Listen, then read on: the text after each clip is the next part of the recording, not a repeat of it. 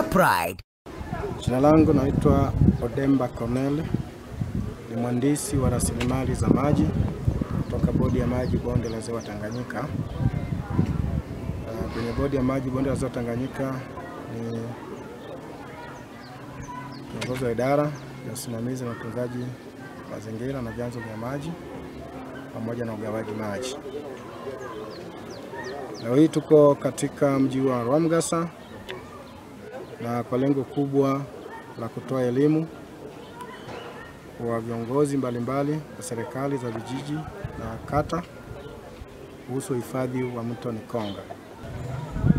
Pamoja na kutoa elimu, tumekuja kwa ajili ya zoezi la kuhifadhi mto Nikonga ambao tutaweka mabango pamoja na nguzo kuonyesha eneo la hifadhi la mto ambayo shughuli za kibinadamu hazipaswi kufanyika katika eneo hilo.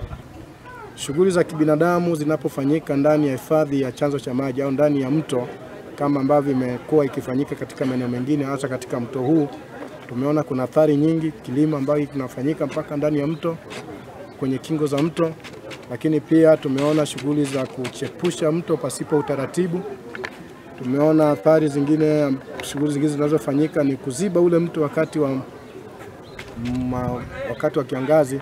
Watu wamekuwa wakiziba ule mto ili kuokota samaki, na hii inafanya mto ule sasa badala ya kuwa mto wa kupitisha maji mwaka mzima unakuwa mto wa msimu. Athari yake mojawapo, mto unabadilika unakuwa wa msimu, hatimaye watu pamoja na wanyama wanakosa maji ya kutumia kwa ajili ya matumizi yao mbalimbali, lakini pia athari zile za kilimo zinasababisha ule mto unapoteza ubora wake.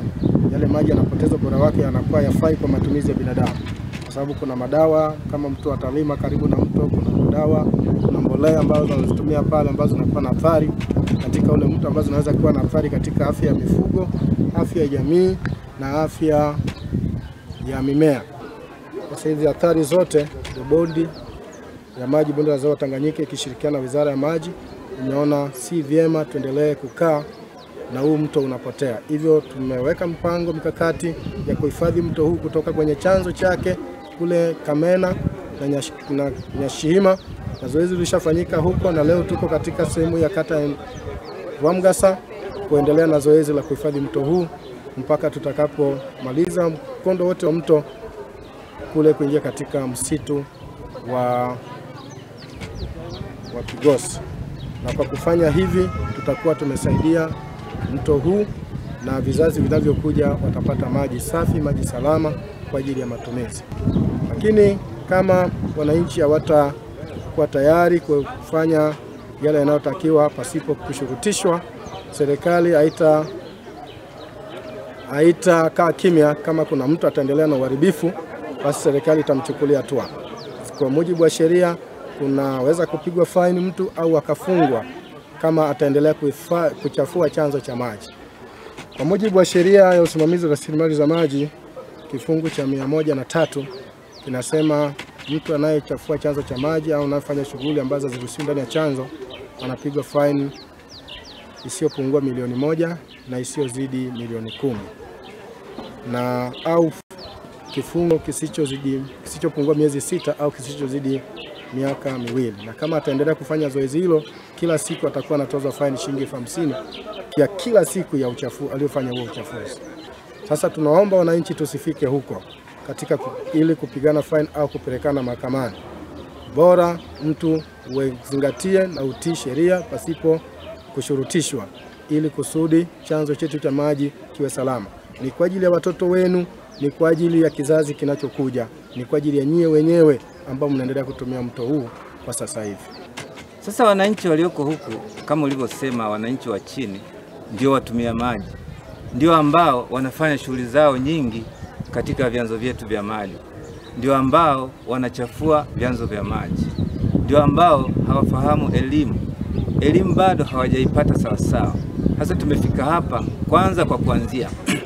Tuzungumze na viongozi wao wa kata ya Rwamgasa, kata ambayo ina vijiji e, vitano.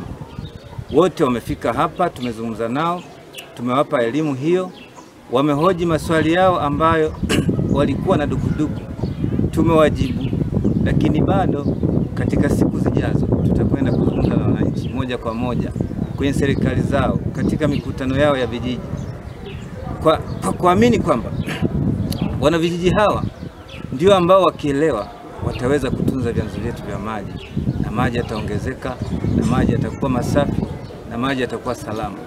Kwa vizazi vya sasa na vijazo, vizazi vijazo tutaweza kupata eh, wingi wa maji.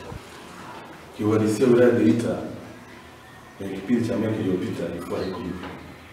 Sasa kuna mabadiliko makubwa, na haya mabadiliko tunayasababisha ni sisi wenyewe. Kwenye upande wa miti, tumekata miti, tumefyeka miti. Kipindi cha nyuma maji yalikuwa yanatiririka, ukifika kwenye ule mto yalikuwa ni maji meupe kabisa, yanatiririka, yalikuwa na ukubwa. Lakini uchafuzi wa mazingira ni sisi wenyewe hatuangalii kule mbele zaidi.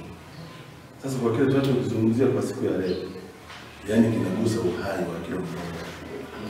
Mimi naweza kusema nawezekana tumechelewa.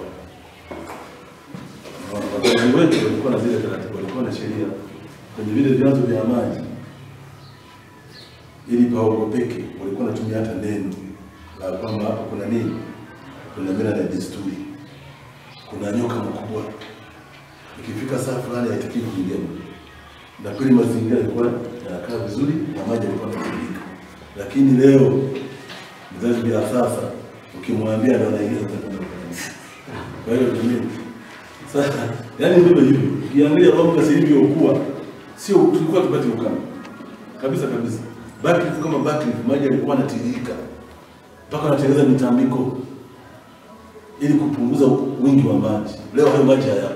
Mkuu wa chuo cha Kilimanjaro Institute of Technology and Management kilichopo Mwenge jijini Dar es Salaam na chenye ithibati na usajili wa NACTIVATE namba reji mkwaju ane mkwaju 029 anapenda kuwatangazia nafasi za masomo kwa ngazi ya diploma na certificate kwa muhula wa masomo utakaoanza 27 Machi mwaka 2023 katika kozi zifuatazo: IT, Business Administration, Accountancy, Procurement and Supply, Front Office na Hotel Management. Chuo kimebobea katika ufundishaji kwa njia ya vitendo na kimeanza kutoa wanafunzi wenye weledi mkubwa. Wengi wameajiriwa na kujiajiri, na kwa wale ambao wameamua kujiendeleza na digrii wameweza kujiunga na vyuo vikuu bora hapa nchini na nje ya nchi. Pia kuna ofa ya kozi fupi za computer application, graphic and design, video production pamoja na CCTV camera. Kwa maelezo zaidi piga simu namba 0754864361 au 0715075840. KITM, elimu na ujuzi kwa maendeleo ya uchumi.